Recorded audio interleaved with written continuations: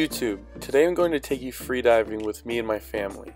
We'll see some clear, calm conditions for some lobstering, and there will also be some footage of a pretty strange fish known as a stargazer.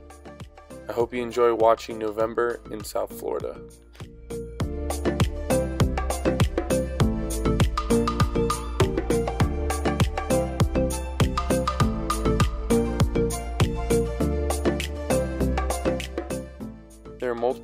Catch Florida lobsters. You can use a tank, Brownie's third lung, which pumps air down from the surface through a hose, or you can free dive like us by getting it down one breath at a time. There are different methods as well. All should be done with pretty hefty gloves, but here you can see me reaching in for a lobster. You should scout the rock first because there are some dangers, such as eels, lionfish, and urchins, but that's all part of it. The method we have come to love is usually a two-person job, where one coerces the lobster to leave his rock using what is called a tickle stick. The other person uses a net and traps the lobsters, then uses their other hand to secure it. This method reduces the chance of maiming a lobster. That is important to keep in mind because all lobsters need to be gauged, and you don't want to have to put a lobster back with missing legs or tentacles if you can help it, especially if she's holding eggs. Some divers use snares, but I've never tried it.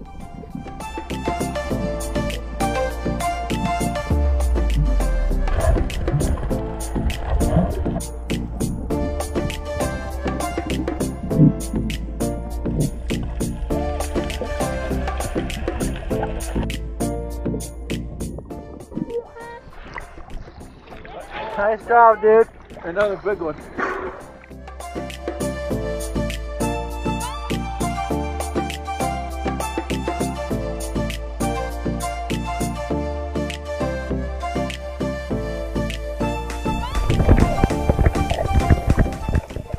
Use a weight belt when I dive now. I like to spend time on the bottom with as little effort to stay down. This helps me try and situate the lobsters in better positions for the other divers.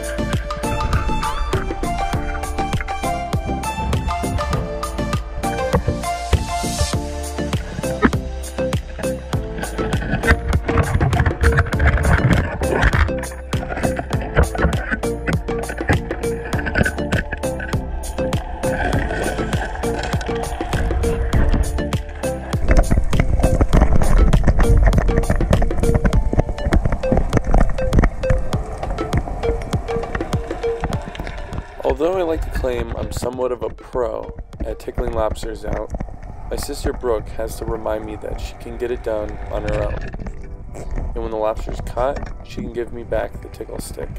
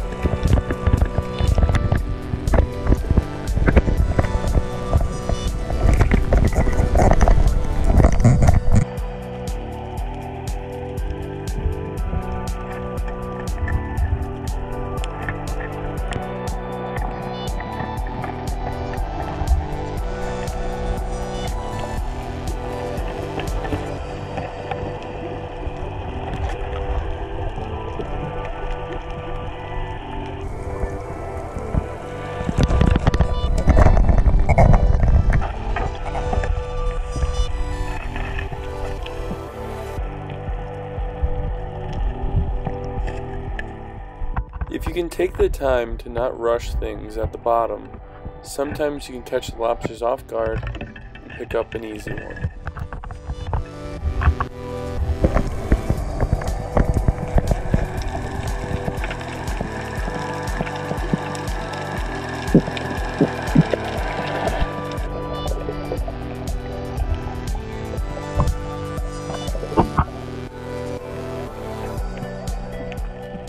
Now For this part of the video, I will advise you not to try this. Here we found a stargazer who buried himself waiting for prey. This species of fish is known for their ability to remain motionless for very extended periods of time, like you can see. These fish have venomous spines on their bodies, and some have adapted to be able to deliver electrical shocks, which can even harm people. I handled this fish with great care, and besides slight flaring of the fins, he remained unbothered. It will eventually rebury himself and use his eyes on the top of its head to ambush prey. And although the stargazer is regarded as one of the ugliest fish in the sea, we were very excited to see one in person.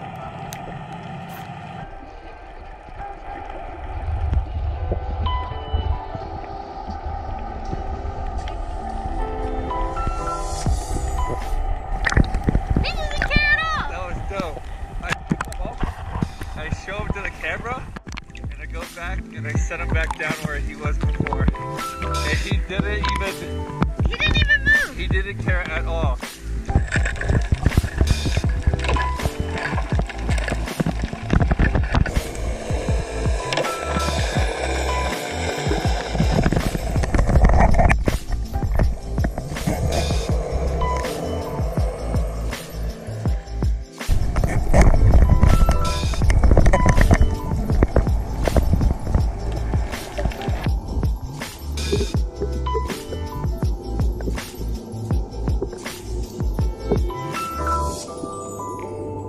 I don't know about you, viewers, but a sight like this is so exciting for me. This many lobsters under one rock. Definitely a lucky day.